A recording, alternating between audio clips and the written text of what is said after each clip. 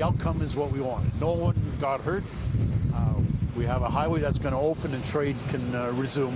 The protest blockade at Manitoba's major Canadian U.S. border is breaking up today, but here in downtown Winnipeg, you can see there are still semi trucks and protesters blocking off the street, and there's no signs that they're pulling out anytime soon.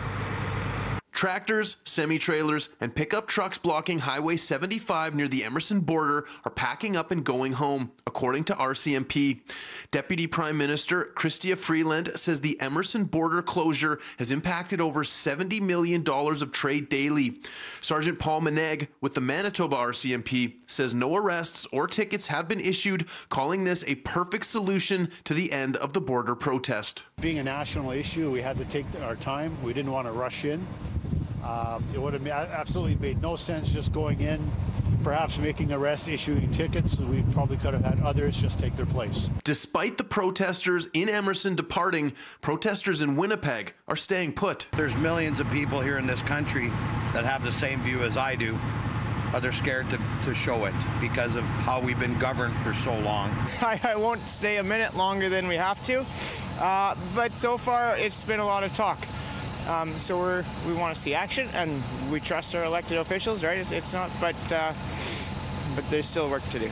So at this point, even though they've said these things will happen or we're going to end the mandates on a certain day, you want to see that actually happen before withdrawing. That's right. Caleb Brown is one of the organizers for the Winnipeg protest who says he doesn't believe in any sort of violence.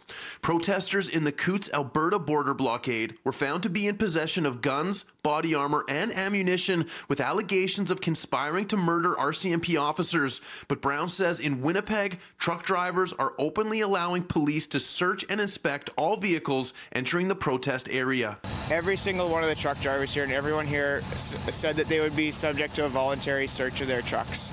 Uh, you know, that's not something that we're about. We, we don't agree with any sort of violence. We're peaceful and lawful.